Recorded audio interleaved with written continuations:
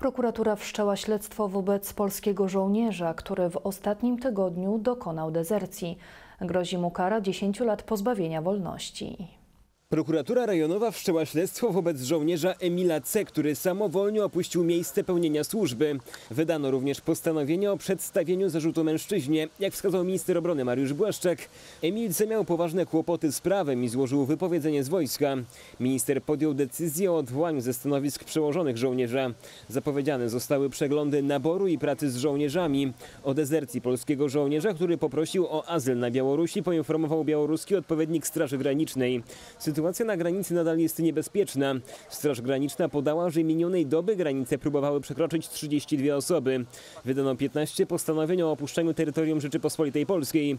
Polskich funkcjonariuszy rzucano kamieniami, oślepiano ich laserami. MSWiA poinformowało, że wyłonione zostały już dwie firmy, które będą odpowiedzialne za wybudowanie muru na wschodniej granicy. W ocenie inwestora spełniają one w najwyższym stopniu przyjęte kryteria i dają gwarancję dotrzymania zobowiązań terminowych.